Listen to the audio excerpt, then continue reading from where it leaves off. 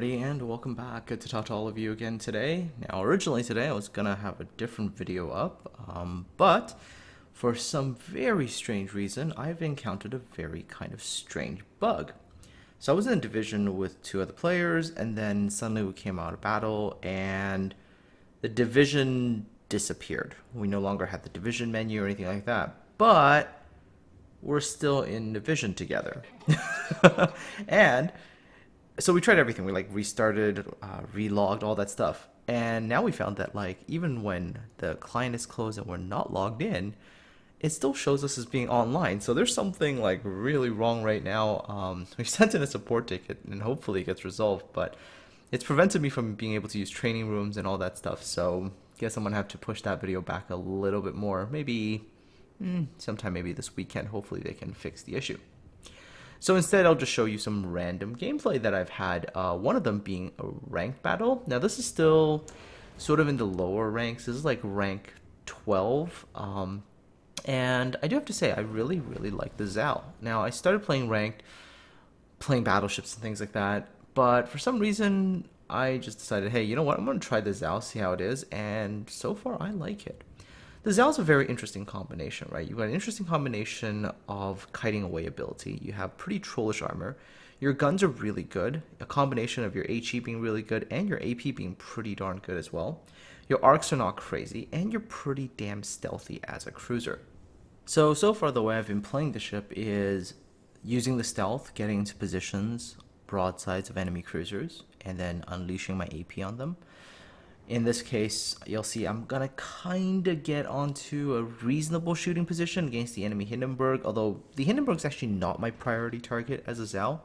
My first targets are usually enemy destroyers, and typically what I do is I follow, say maybe a couple kilometers behind my own destroyers. And then what would happen is that when my destroyer detects an enemy destroyer, I just unload HE at them. Typically speaking, if you aim your salvo right and the enemy destroyer gets caught a little bit off guard by your presence, you can easily salvo them for like 8 9000 damage, which for destroyer is quite significant. In this particular case, on my team, I've got a Harugumo. Uh, it's not the stealthiest destroyer out there, um, so I momentarily turned my attention over to the cruiser on the other side. But Eventually, the Harugumo does get into a fight with an enemy Gearing. Gearing does pop smoke, so that does allow him to disappear. But there's enough people shooting at him, including the Harugumo, that that Gearing isn't really gonna live much longer, and there he goes down. So with the Gearing out of the way, enemy team has one Shimakaze left, and they've got a couple more cruisers and only one GK, and the GK is over there to the left. And in my present position, that means on this side, where my guns are, there is no enemy battleship to threaten me here, just cruisers. Which is perfect, because I'm just going to cut up right around here, because I'm going to have pretty good cover from that GK. And I'm going to come over here and engage these cruisers, and these poor cruisers just... Maybe they're not aware of me being here anymore. Um, I don't know what they were thinking, but yeah, no, you never want to be in that kind of position against the Zao. Zao will hurt you really, really quickly. That Des Moines, just poor guy, came out broadside and blap blap two salvos and he's down to just basically nothing. I'm gonna get one more AP salvo off just because it was reloading, but as soon as that's done, I'm gonna transition over to HE. At the same time that this is happening, I'm also mindful that this enemy GK probably is to be coming out as well. First of all, he's alone and he's not really in a great spot. And second, here I am in the middle destroying his cruisers. Might want to come out here and try to help his team out. So I just throw a nice wall of torpedoes into that slot where he's going to come out. Alright, DM has a fire on him, pretty low, I'm pretty sure my team's going to finish him off. Transition over to the Zao. Zao's attention is, I don't know what the Zao's attention is on. Uh, I think it might be on the Harugumo, but poor Zao came out again, broadside.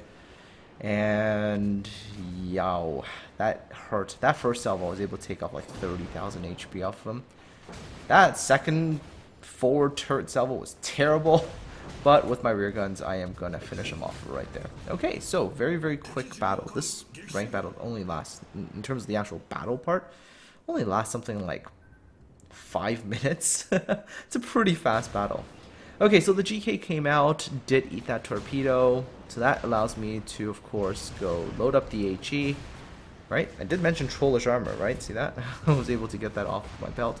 And, of course, now I'm going to go for fires. I have another set of torpedoes waiting as well, so I'm going to unleash those. And hopefully the GK is going to run into that as well. Now, obviously, I don't want to get into a direct head-to-head -head confrontation with a battleship. That is still not a good idea when you're a cruiser. So, of course, this little island here, I am immediately going to get behind it and take some cover. I'm also aware that there is a Shimakaze in that smoke over there, so once this GK goes down, and it should be pretty fast, just ate another torpedo, it's now going to flood out, and that GK is not going to last very long. Once this GK goes down, there's only one Zao on the enemy team and one remaining Shima, which I know where the Shima is. As you'll notice, I have DFAA and not hydroacoustic, so I am trying to get into proxy spotting range. There's the Shima. First salvo, and you'll notice there's 11,000 damage. Now, of course, the Shima does get torpedoes off. I'm just going maximum speeds just to prolong my life, because I need to get off the second salvo and finish the Shima off. There you go, there's a salvo and I go down as well. But totally worth it. Very, very short rank battle, uh, 169k damage. Yeah, there's my high caliber, 8,155 uh, experience, 613,000 credits, 11 Citadel hits, and that was pretty much done, right? Um, base experience 2,552. So yeah, um, lower rank battles. they can still be fun. They can be frustrating as well, but they definitely can have their fun moments as well. But definitely for me right now, Zao is my preferred ranked ship. Not really enjoying the battleships in ranked right now. It's just, I don't know. I, I like the flexibility of having cruisers. Okay, so another battle.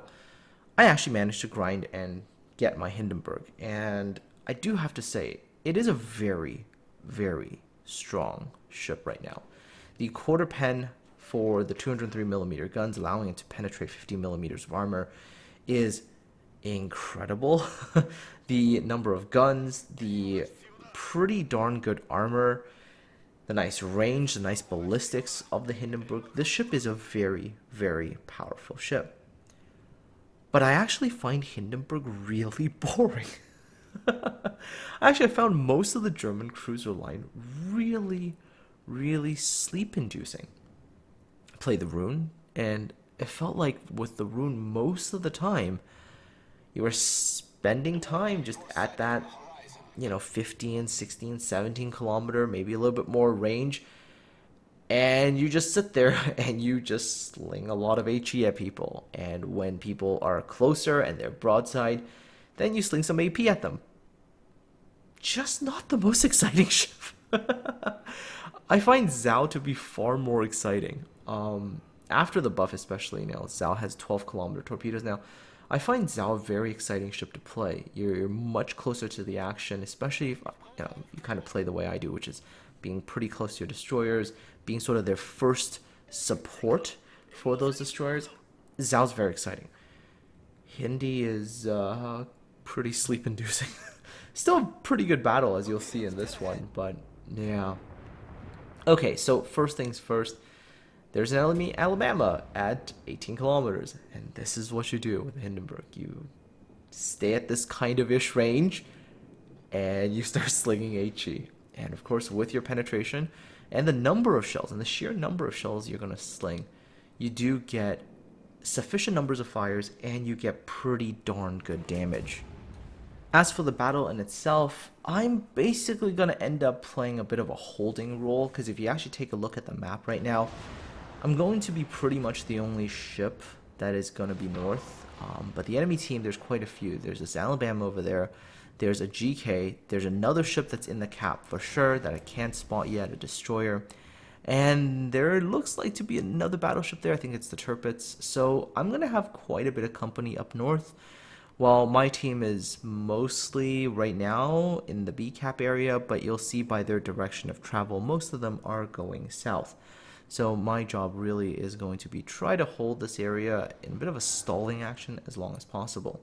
For this particular purpose, Hindenburg is not a bad ship. She's got those pretty darn good ballistics, right? Her armor is not exactly pathetic. She doesn't usually get outright deleted by stuff, you know, and just an overall good ship. She's not like super sluggish, right? Pretty agile. You can spend quite a bit of time kiting away. It's also kind of frustrating to push on the Hindenburg, a ship with very good fire chance, pretty darn good rate of fire, and just frustrating. And of course, she can pen you sort of like everywhere. with her HE penetration, she really has the capacity to do that. And so that's basically what I will be doing for the first while of this battle while I watch my team go south, retake that cap in the southern area, sort of hold back the enemy team in the middle area, and that's what I do. Like I did say earlier, Hindenburg is a little bit on the sleep-inducing side. I, I found that my games with the German cruisers have generally been pretty relaxing. It's kind of like taking a stroll in the park kind of thing, you know? Um, just very easy ships to play. Anyways, uh, there was another very interesting thing. I was reading the forums, the World of Warships forums, and somebody was asking, it was like, how come CCs don't get focused very much? oh boy. Um, first things first, CCs get focused a lot, especially when we're testing like new ships or in some battles when you have that name recognition. I've been focused sometimes so insanely hard that it's just like, guys, come on. like, cut me some slack. Like, let me go. But first things first, yeah, you know, you're not going to avoid the focus when you're a CC, but sometimes you see the video and you'll be like, guys don't get shot at as much as maybe I do.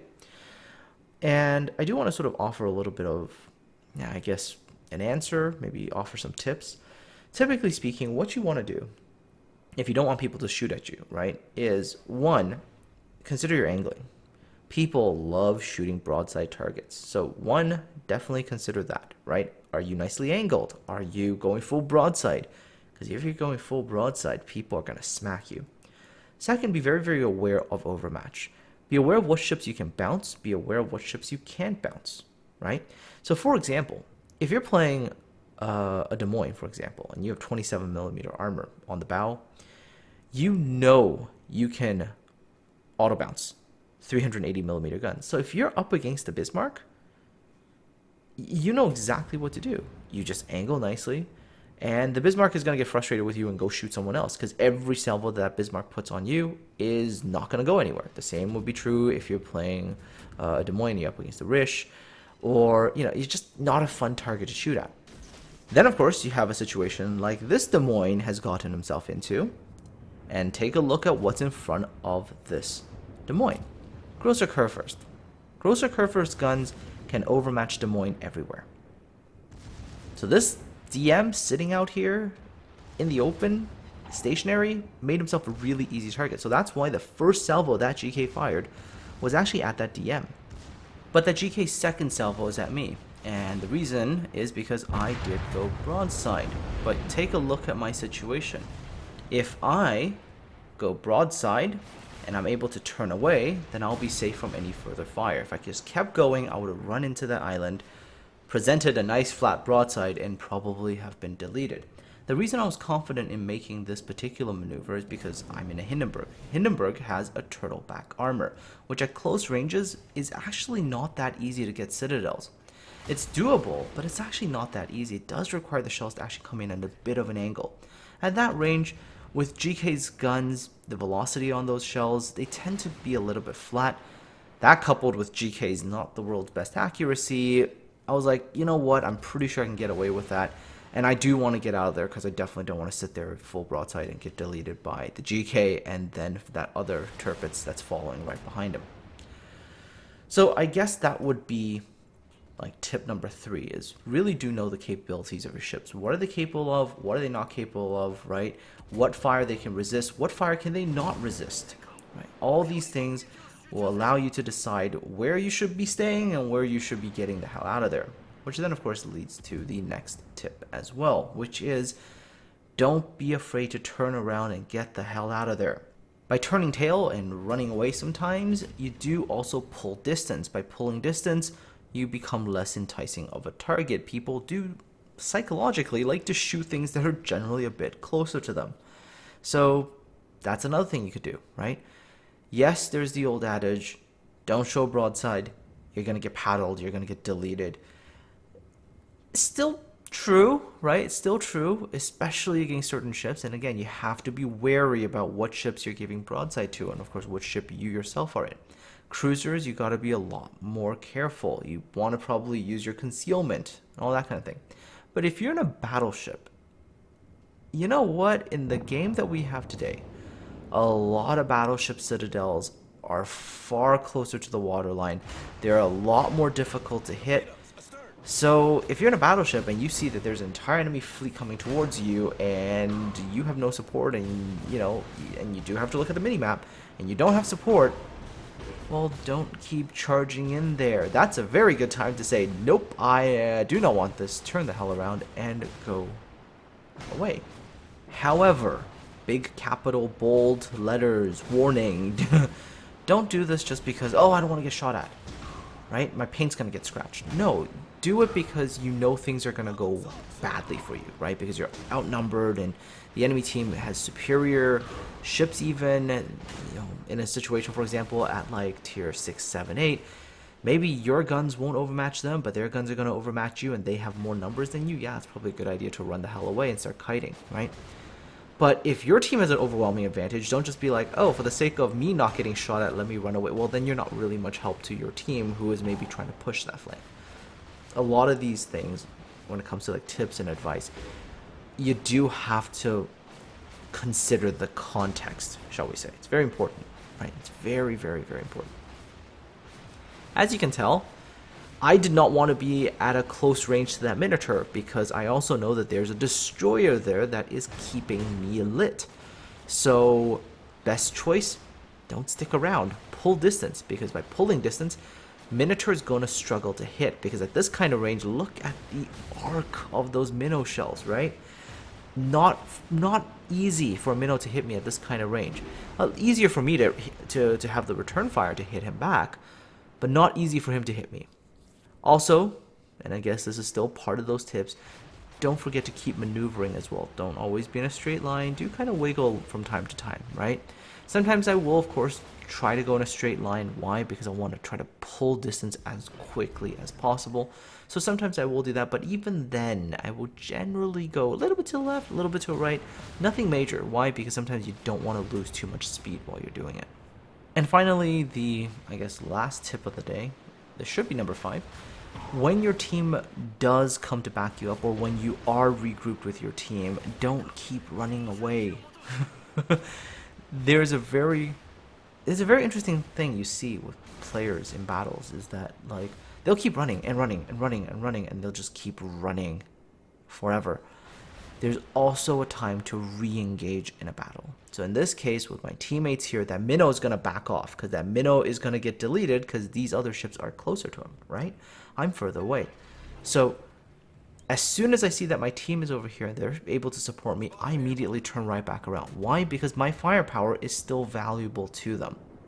And that's something that you really have to remember. Yes, at times kiting away very useful, but you also have to re-engage.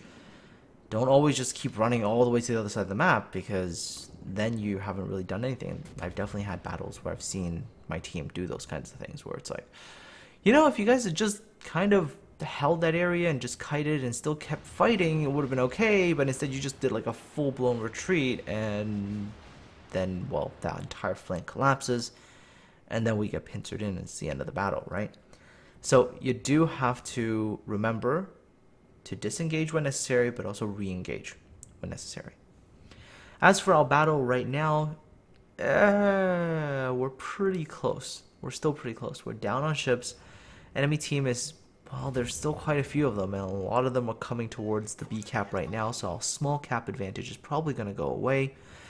I'm, of course, going to try to support my team and maybe try to retake the northern cap as well, the A cap that's currently in the enemy team's possession, really because just want to keep flipping the caps, right? We want to be able to maintain the points to try to get the battle won.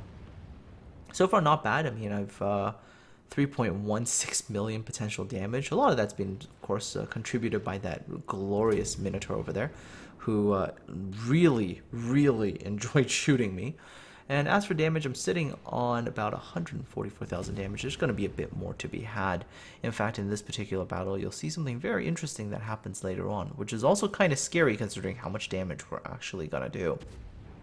Oh, right, one other thing to point out, and this is another thing I sort of forgot to mention. In World of Warships, keep fighting to the bitter, bitter, bitter end, right? Don't give up.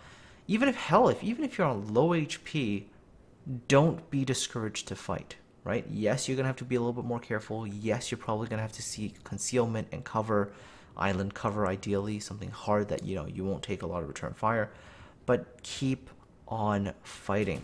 Sometimes you see players that just like, hey, you know, I'm low HP, I'm just not going to fight. I'm just pretty much going to disengage from the battle and keep myself alive. Well, what the hell's the point if you end up losing, right?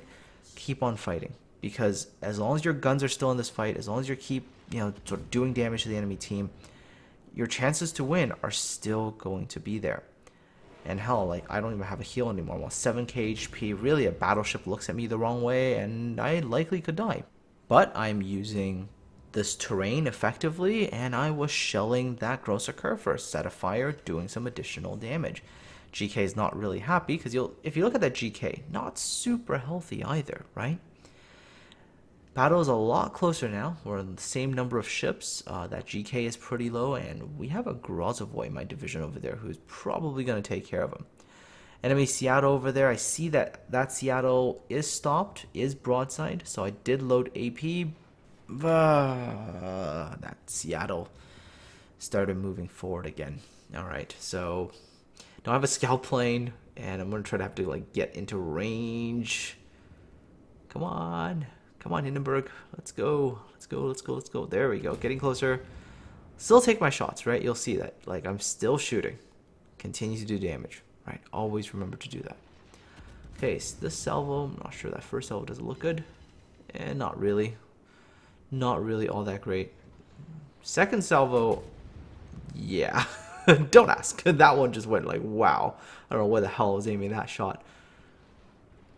Seattle. Oh, lost vision. Okay. All right. Okay, so looking for a new target, shall we say. That GK is not very healthy at all.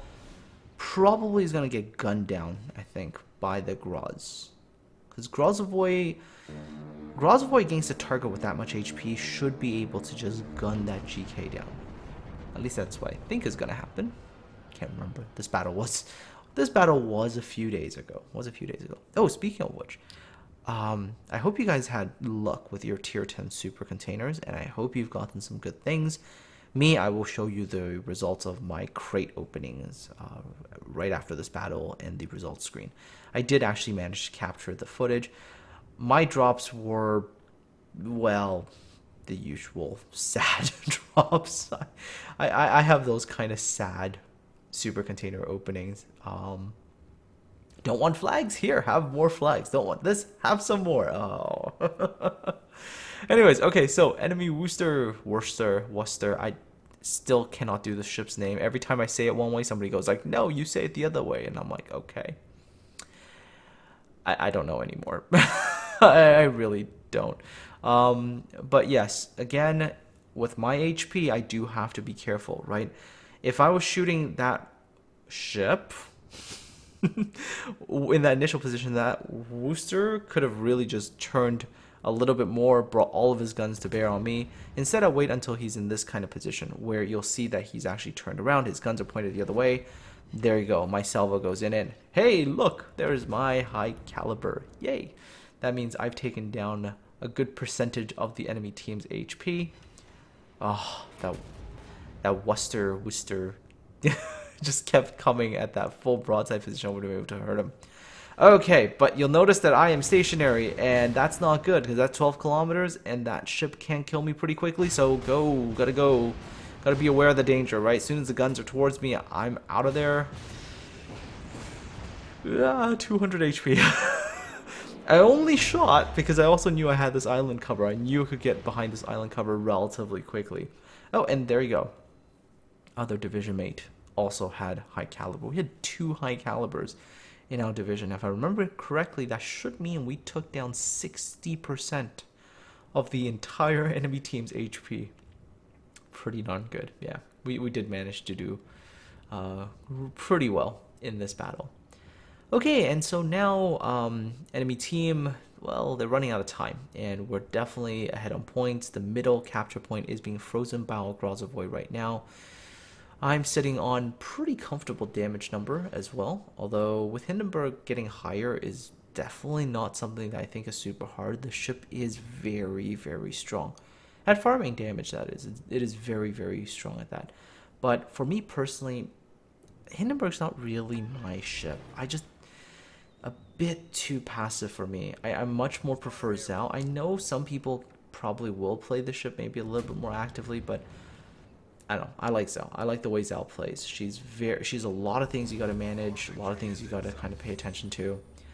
There we go. Time ticks down and we win this battle on points. And here we go. Final results screen. I have Dreadnought, Witherer, High Caliber, 184,000 damage. No Citadel, sad chase, very, very sad. Um, 10 fires. Base experience was 1,980, but my god, my division made that Montana 2,911. What a game. Anyways, and there, there we go. Let's take a look at the uh, final damage totals, and you'll see that in terms of my shell damage, got a reasonable amount of damage from the AP shells, good high explosive damage, very, very good fire damage. Sadly, it is a tier 10 ship, so credit gains, not all that amazing. Alright, and so that pretty much does it for the gameplay stuff. Let's take a look at those crates, because really that's what you're all waiting for, right? Crates. so here we go. Um, super container number one, flags. Okay. Super container number two, flags. Super container number three. Oh, camo. Valentine's Day camo. I have a lot of camo. Don't really need camo. Hey, okay, some coal. I got 15k coal. Alright, I don't mind coal. Coal, coal, because we have arsenal now. Coal is pretty good. Steel. That's good. Fif you know, well, 1500 steel. That's a good super container. Yes, 14 more days of premium time. I have like a lot, but hey, more never hurt. Ah, more flags. Victor Lima flags are. Oh, okay, 100 detonation flags. I'll take 100 detonation flags because you know what? Detonation flags in the game, those are good because then I don't have to go get detonated 10 times playing other ships.